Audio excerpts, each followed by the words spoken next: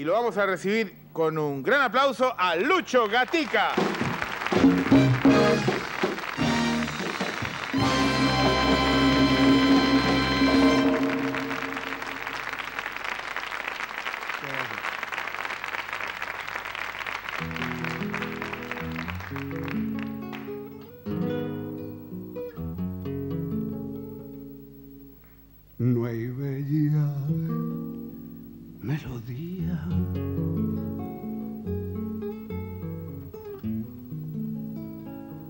En que no surjas tú.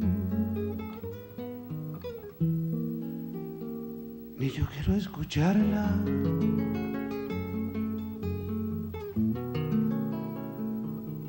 Si no la escuchas tú.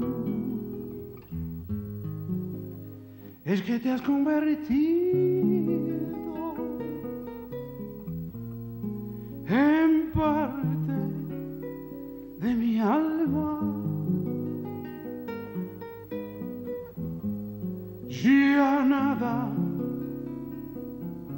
nada me conforma.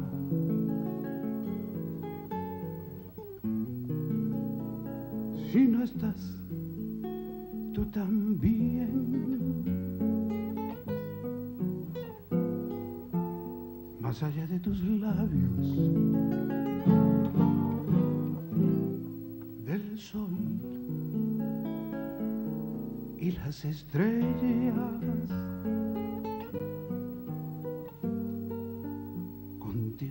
Distancia, amada mía. Estoy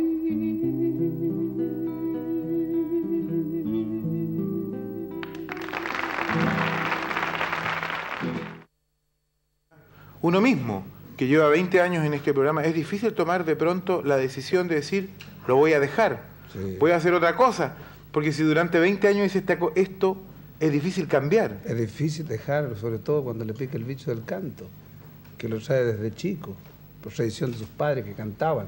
¿Cómo empezaste a cantar? ¿En qué parte fue la primera vez que cantaste y qué cantaste? Importante, muy buena pregunta. En el Teatro Apolo en Rancagua. Teatro Apolo. ¿Y qué fue lo que cantaste? Canté El Soldado de Levita, la, la- la malagueña.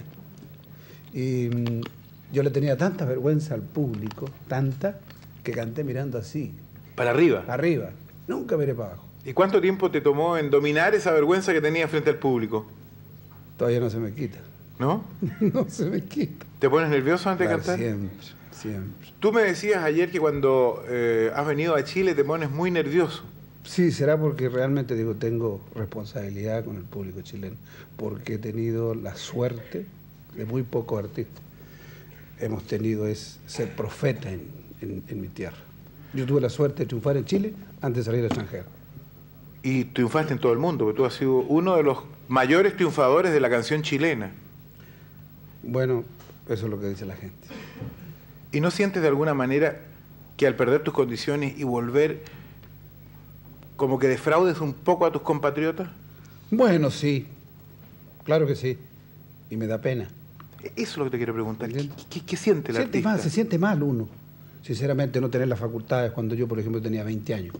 Tú, tú dabas unos tonos increíbles, altísimos. Bueno, es lógico, se pierde la facultad. Y debes haber hecho La mayoría de los cantantes, perdona que te interrumpa, la mayoría de los cantantes, el mismo Pedro Vargas, con las facultades que tiene Pedro, ha bajado tres tonos su- de tono original. Claro, ahora tiene 80 años. Es, es un caso excepcional en el mundo. Extraordinario. Pedro es, yo diría que es de las excepciones grandes en el mundo como cantante.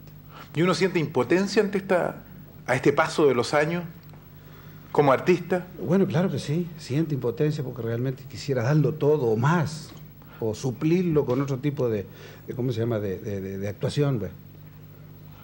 A mí personalmente, lo mismo, que lleva 20 años en este programa, es difícil tomar de pronto la decisión de decir, lo voy a dejar, Sí. voy a hacer otra cosa, porque si durante 20 años co- esto, es difícil cambiar. Es difícil dejar, sobre todo cuando le pica el bicho del canto, que lo sabe desde chico, por tradición de sus padres que cantaban. ¿Cómo empezaste a cantar? ¿En qué parte fue la primera vez que cantaste y qué cantaste? Importante, muy buena pregunta. en el Teatro Apolo en Rancagua. Teatro Apolo. ¿Y qué fue lo que cantaste? Canté El Soldado de Levita, la, la- la malagueña. Y mm, yo le tenía tanta vergüenza al público, tanta, que canté mirando así, Para arriba. arriba. Nunca miré para abajo. ¿Y cuánto tiempo te tomó en dominar esa vergüenza que tenías frente al público? Todavía no se me quita. ¿No? no se me quita. ¿Te pones nervioso antes de cantar? Siempre, siempre. Tú me decías ayer que cuando eh, has venido a Chile te pones muy nervioso. Sí, será porque realmente digo, tengo responsabilidad con el público chileno, porque he tenido la suerte de muy pocos artistas. Hemos tenido es ser profeta en, en- en mi tierra. Yo tuve la suerte de triunfar en Chile antes de salir al extranjero.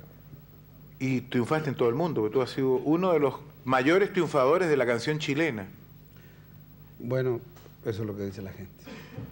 ¿Y no sientes de alguna manera que al perder tus condiciones y volver, como que defraudes un poco a tus compatriotas?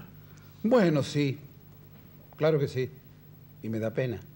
Eso es lo que te quiero preguntar. ¿Qué, qué- qué siente el Siente artista? mal, se siente mal uno. Sinceramente, no tener las facultades cuando yo, por ejemplo, tenía 20 años.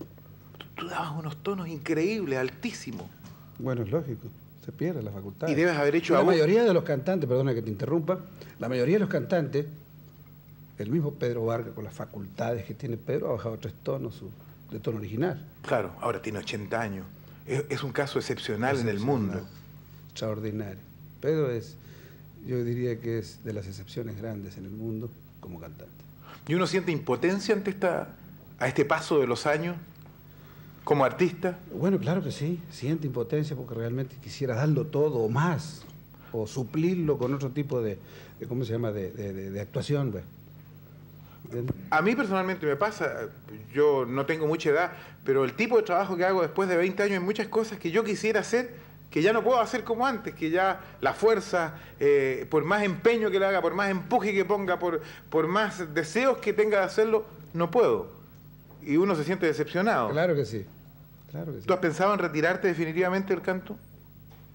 Después de 60 años, puede ser, ¿Te puedo pedir, eh, preguntar la edad?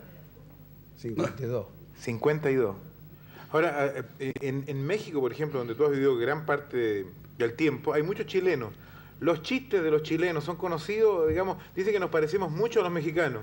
Bueno, es muy difícil, la verdad que no nos parecemos a los mexicanos. No nos parecemos porque nada. Dicen que nosotros hablamos muy, muy rápido y nos comemos las leches. ¿Y el humor tampoco? Bueno, el humor es muy parecido, pero la agilidad mental del chileno es única, ¿Sí? como el señor que está aquí. No-